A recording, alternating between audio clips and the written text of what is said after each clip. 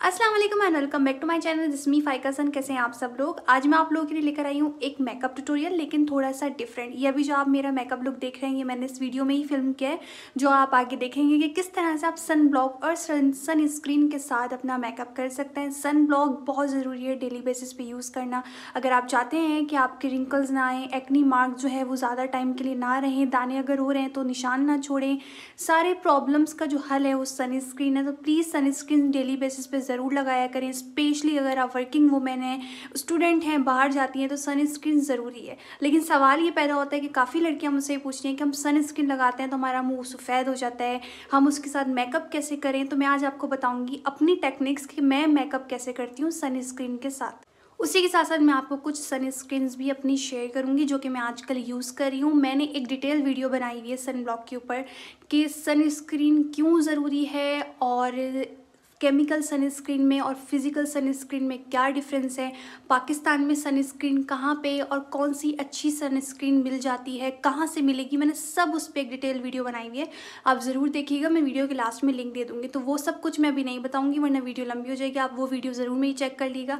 आज मैं आपके साथ कुछ अपनी करंट सनस्क्रीन जो मैं यूज़ कर रही हूँ, वो शेयर करूँगी और मैं कैसे मेकअप करती हूँ विदाउट फाउंडेशन सनस्क्रीन के साथ तो वो भी मैं आप लोगों के साथ शेयर करूँगी कि किस तरह से आप कर सकते हैं।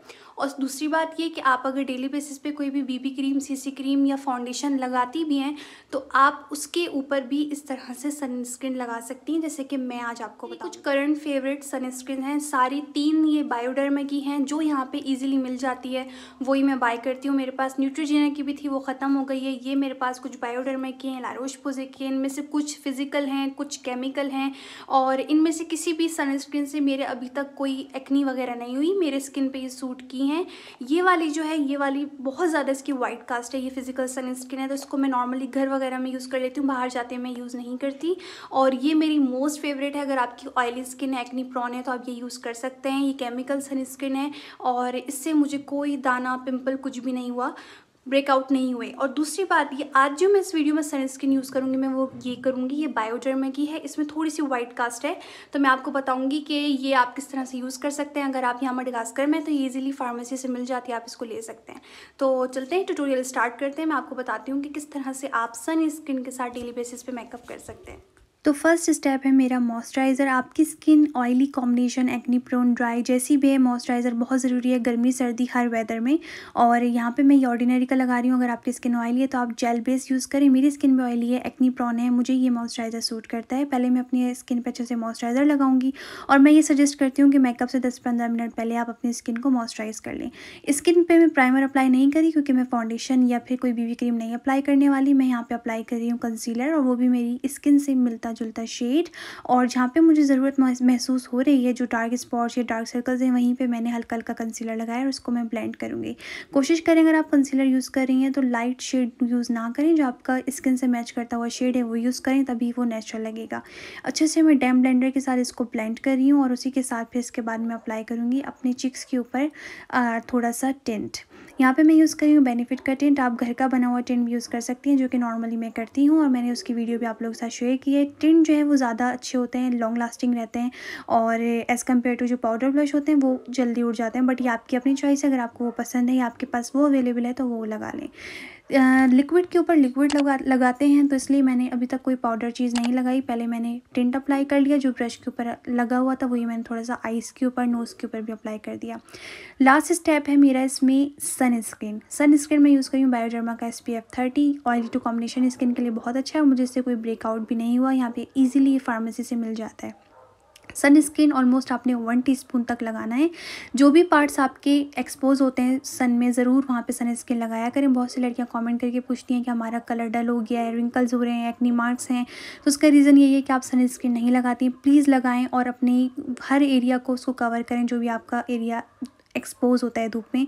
आँखों के ऊपर, आँखों के नीचे ये एरिया ना भूलें। इस वक्त बहुत भूत लग रही थी बट इसको अच्छे से मैं ब्लेंड करूँगी तो वो फिर मेरी स्किन पे सेट हो जाएगा। तो बेहतर है कि आप मेकअप में अगर बीबी क्रीम या फाउंडेशन डेली बेसिस पे लगाती हैं तो उसके बाद फिर आप अपना सन स्किन लगाएँ। जब आप पहले मेकअप से सन स्किन लगा लेते हैं फाउंडेशन से पहले तो जो उसका असर है वो कम हो जाता है। तो बेहतर है कि सन स्किन आप बाद में लगाया करें, चाहे वो स्प्रे वाला सन स्किन है या इस तरह से है। मैं जो जिस तरह से करती हूँ, मैं वो आपके साथ अपनी टेक्निक्स शेयर कर कर रही हूँ। फिर मैंने ब्लेंडर के साथ इसको अच्छे से ब्लेंड कर दिया ताकि अगर कहीं पे भी थोड़ा सा लगा हुआ है या वाइटनेस नज़र आ रही है तो वो भी अच्छे से मेरी स्किन में ब्लेंड हो जाए। थोड़ा सा ये मेकअप ग्लोई भी लगता है और साथ ही में अच्छा सा आपको यू वी यू यू और यू रेजिस से प्रोटेक्शन भी मिल जाती है। यहाँ पे मैं बहुत लाइट सा पाउडर लगा रही हूँ अपनी आँखों के नीचे और ऊपर क्योंकि मैंने कंसीलर लगाया था तो वहाँ पे क्रीज ना हो इसलिए मैं बिल्कुल लाइट सा पाउडर अप्लाई कर रही हूँ। इस पुली से मैं अपनी आईब्रोज़ के जो हेयर्स हैं उनको ब्रश कर रही हूँ। यहाँ पे आप अगर आईब्रो बनाना चाहें पेंसिल के साथ आप कर सकते हैं, ये आपकी अपनी चॉइस है। मैं अप्लाई कर रही हूँ मस्कारा और आप चाहें तो यहाँ पे लाइनर अप्लाई कर लें, अगर आप डेली बेसिस पे लाइनर लगाना पसंद करती हैं। घर का बना हुआ मैं लिप बाम यूज़ कर रही हूँ, जिसकी वीडियो मैंने अपने चैनल पे अपलोड की हुई है। ज़रूर ज़रूर ट्राई करिएगा, ज़रूर बनाइएगा। सिर्फ़ दो इंग्रेडिएंट्स के ये लिप बाम बनाया था मैंने। और आप देख सकते हैं कितने अच्छे से नेचुरली पिंक लिप्स हो गए मेरे ग्लॉसी से और बहुत नेचुरल से रहते हैं और लॉन्ग लास्टिंग होता है। आप अगर चाहें तो डेली बेसिस पे विंटर समर किसी भी वेदर में यूज़ कर सकते हैं बहुत अच्छा है, बिल्कुल सेफ़ है। मैं इसको थोड़ा सा डार्क करने के लिए यहाँ पे लिपस्टिक यूज़ कर रही हूँ और ये हर किसी की अपनी पर्सनल चॉइस होती है। आपको डार्क लिपस्टिक पसंद है तो डार्क लगा लें लाइनर पसंद है, जो भी पसंद है, यहाँ पर मैंने हाईलाइटर वगैरह यूज़ नहीं किया, बहुत मिनिमल प्रोडक्ट्स मैंने यूज़ किए हैं। मैं क्योंकि लाइनर नहीं लगाती तो मैंने थोड़ा सा काजल अपनी टाइट लाइन के ऊपर अब लगाया है। तो ये हो गया मेरा नेचुरल डेली मेकअप जो कि बेस्ट है समर्स के लिए विंटर्स के लिए। आपकी स्किन प्रोटेक्ट भी रहेगी ग्लोई भी लगेगी और साथ ही में उस पर जो प्रोडक्ट्स हैं वो भी बहुत कम लगे हुए हैं। सो आई होप आपको ये लुक अच्छा लगा होगा और अगर आप ये लुक अचीव करें तो मेरे साथ ज़रूर शेयर करिएगा अपना एक्सपीरियंस फॉलो कर लें मुझे इंस्टाग्राम पे एंड लेट मी नो कि आपको ये मेकअप लुक कैसा लगा। So so, yes yes. तो आई होप गाइज़ आपको वीडियो अच्छी लगी होगी। मैंने डिटेल में आपको सब कुछ बताया है। उसी के साथ एक और चीज़, ये मेरे पास है इट कॉस्मेटिक्स की सीसी क्रीम इसमें एस पी एफ़ फोर्टी है मतलब इसके साथ आपको सनस्क्रीन यूज़ करने की ज़रूरत नहीं है। लेकिन मसला ये है कि ये एक तो महँगी है और फुल कवरेज है, आप इसको डेली बेसिस पे यूज़ नहीं कर सकते। आप अगर डेली बेसिस पे यूज़ करना भी चाहें तो एक ड्रॉप करेंगे जो कि इनफ नहीं है सन प्रोटेक्शन के लिए। तो ये मैंने बाई की थी और मैंने शायद जस्ट एक से दो बार इसको यूज़ किया क्योंकि मेरा बाहर जाना इतना नहीं होता। मैं, जैसे आज मैंने आपके साथ ट्यूटोरियल शेयर किया मैं यही वाला लुक करती हूँ। इसी तरह से मैं जो है मेकअप करती हूँ। उससे होता ही है कि मैं सनस्क्रीन भी यूज़ कर लेती हूँ और मुझे थोड़ा सा जो है टिन भी मिल जाता है कंसीलर के साथ। तो आप चाहें तो ये ले लें। ये आपके ऊपर अगर आप, बहुत अच्छी है ऑयली स्किन के लिए बेस्ट है तो आप ये भी ले सकते हैं। मैंने आपके साथ शेयर कर दी क्योंकि मेरे पास थी। मैं आजकल इसको यूज़ भी कर लेती हूँ अगर मैं कहीं बाहर जाती हूँ तो। तो आई होप गाइज़ कोई भी आपका क्वेश्चन है तो आप मुझसे नीचे कॉमेंट सेक्शन में पूछ सकते हैं और thank you so much Instagram पर मुझे फॉलो कर लीजिए और नई वीडियो में आप क्या देखना चाहते हैं, अपनी सजेशन भी मेरे साथ शेयर कीजिए। अपना बहुत सारा रखिएगा ख्याल टेक केयर हाफिज़।